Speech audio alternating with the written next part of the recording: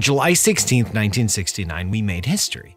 At 9:30 in the morning, the Saturn V rocket, the largest, most powerful rocket ever built, ignited.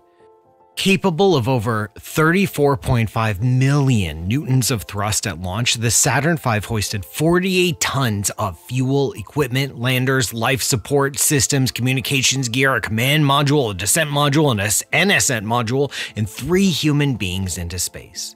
It was a three stage rocket with the first two stages igniting, burning, and detaching, before lofting the remaining spacecraft into a stable parking orbit around the Earth.